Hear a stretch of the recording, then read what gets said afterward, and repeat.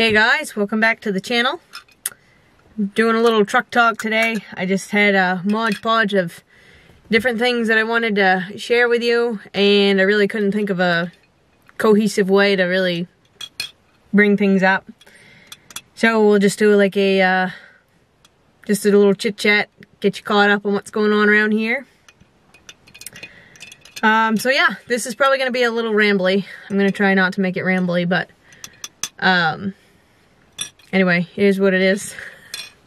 So, I'll start off by saying I stayed up till like 2 in the morning this past week filming a video making my um, homemade sourdough bread.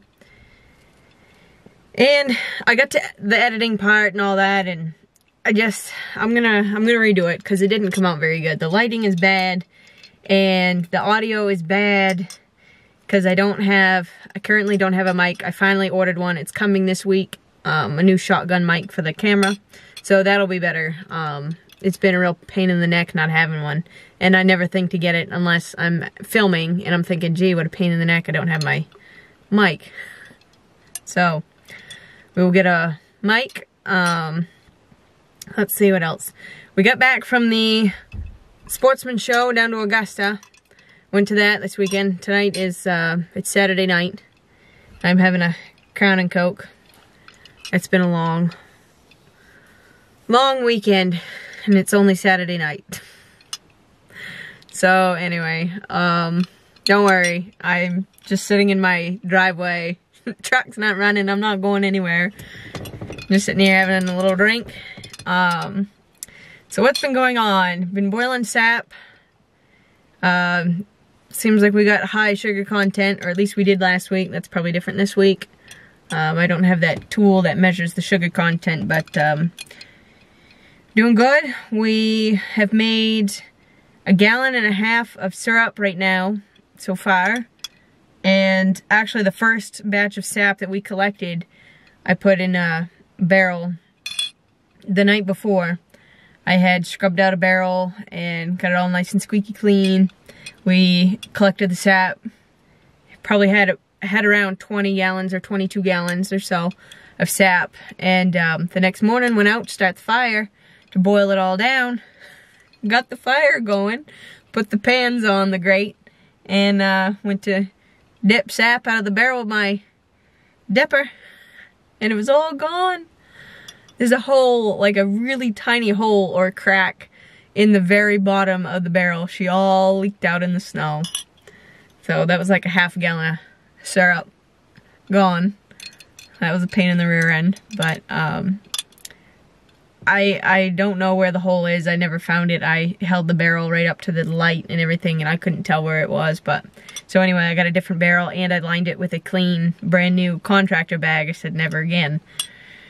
So we've been doing good with that. Um, I got more to boil, uh, not tomorrow. Well, I might start tomorrow afternoon or Monday. So, I'll probably bring you along for some of that if you guys are interested.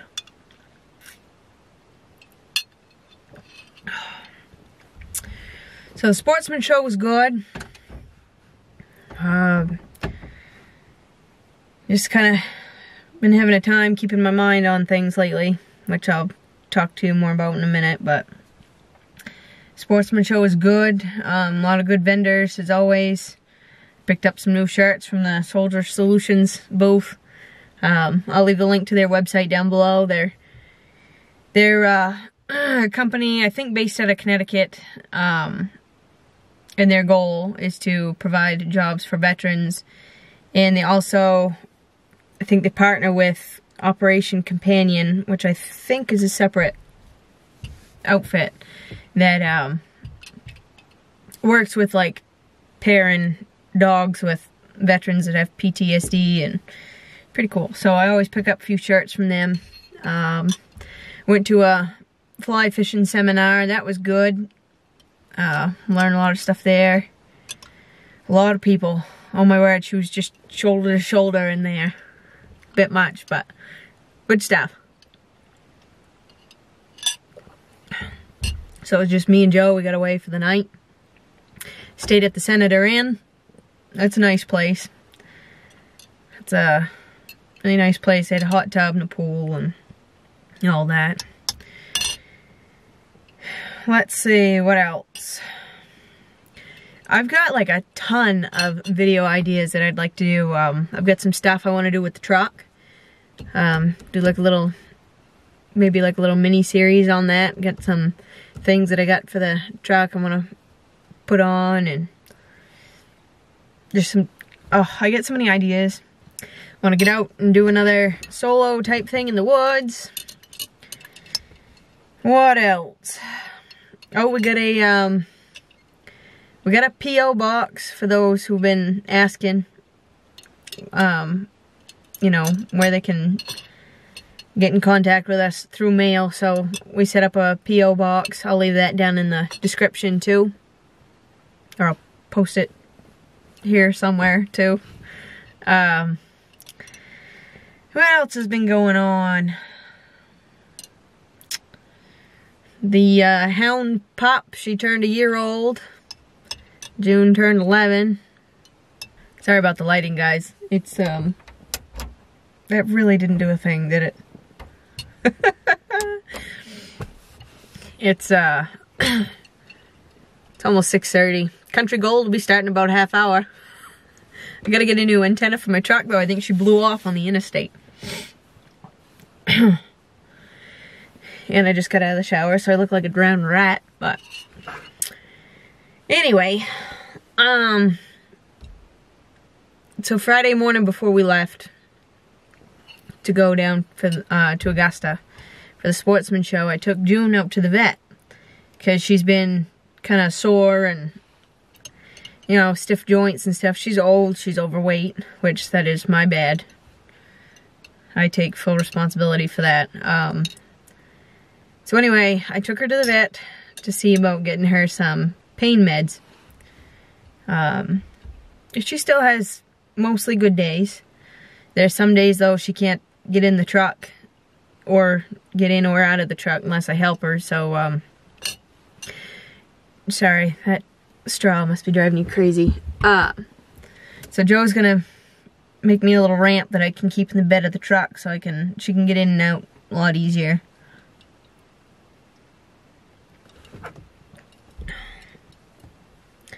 So anyway, I took her to the vet and they looked her over and the vet said, well, let's run some blood work.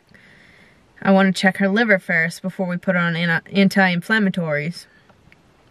He says we just do that with every, you know, critter that they're considering putting on anti-inflammatories. Okay, no problem. So he does the blood work.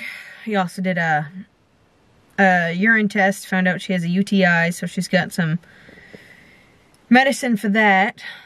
Um, the blood work came back and she's got some elevated liver numbers, which he said there were two different two different types. One he just he disregards anyway because it just doesn't mean much.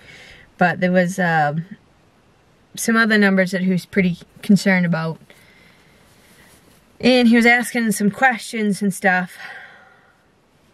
So he couldn't put her on any meds for her joints. She's going to go back in two weeks for another blood test. And if her liver numbers are still high, we'll go from there. Um, you know, she's also been drinking a lot of water. She's gotten a pot belly in the last couple months, which isn't normal for her. Um, and she's gotten kind of snappy um, she doesn't cop up an attitude with me, but with, you know, the even the kids and, and um, you know, other people in the house, she's kind of, so she's, she's not herself. Um, so the vet wouldn't come right out and say it, but I could tell by the look on his face. Uh, it's pretty serious. Um, I'm obviously no vet, but it It's looking like she has liver failure. So we'll see. I gotta take her back in two weeks, like I said, for some more blood work and just to make sure her UTI cleared up. But the next steps, if the numbers are, if her liver numbers are still high, then the next step would be like, you know, um, x-ray and ultrasound to see what's going on. Um, but he said her liver's probably leaking somewhere.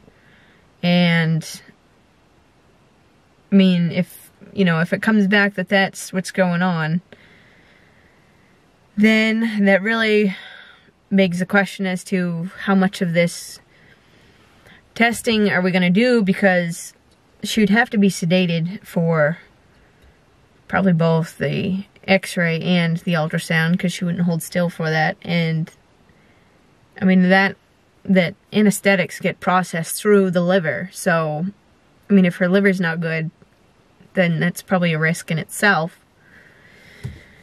And she's 11 years old. So it's it's not good He, like I said, he wouldn't come right out and say it, but I could see it in his face. So that's been on my mind. That's why I'm having Coke and whiskey.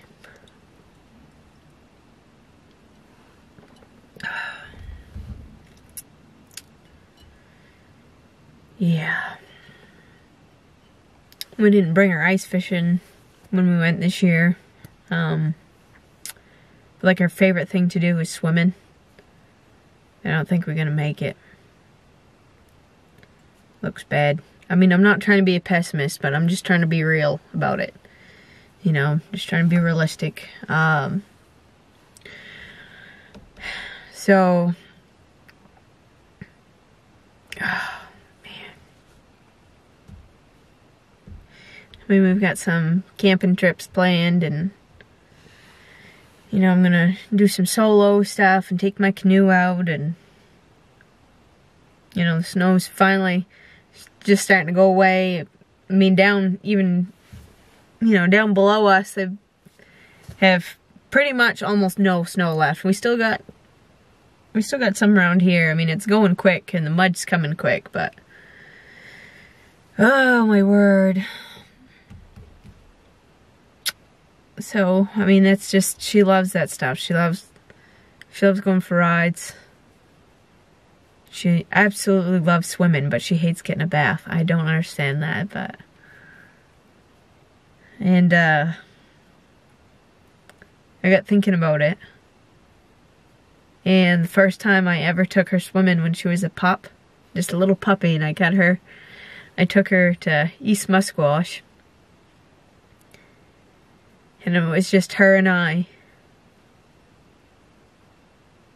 And last summer in September, the last time I went swimming was uh, that solo trip I did with just her and I in my canoe.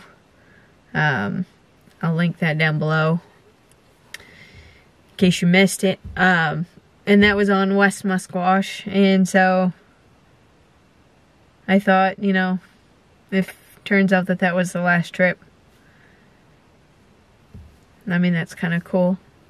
Started with just the two of us. And it's probably going to end that it was just the two of us. East and West Musquash both. So, I've been feeling pretty crappy. Not gonna lie.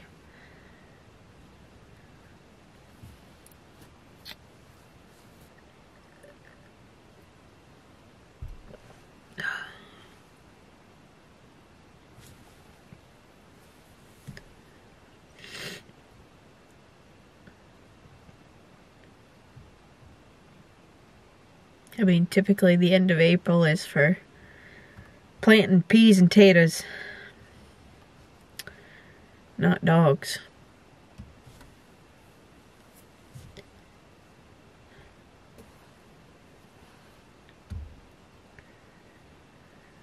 Well, it's not all bad news. Um,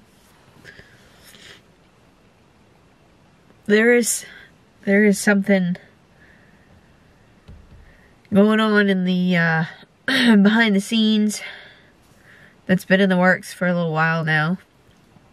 I'm not ready to share it yet, so if any of my family or friends that know what I'm talking about is watching this, you be quiet down in the comments. Shh, it's a secret. But there is something, there is something exciting and happy um, going on behind the scenes. Just not ready to share it yet, um, but soon.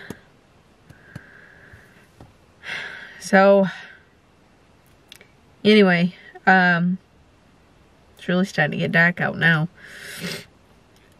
I don't want to be a complete Debbie Downer, but I just wanted to chat with you guys for a little bit. I know it's been a while since I've posted a video, um, especially anything like this where, you know, just kind of letting you know what's going on, but things have been busy and just been all about the sap lately and getting the kids doing their schoolwork. We're gonna wrap that up soon. Here in another month or so. Thank God. so we got that going on. And just day-to-day -day stuff and you know, things with Junebug and just keep plugging on ahead. And I guess I'll, uh,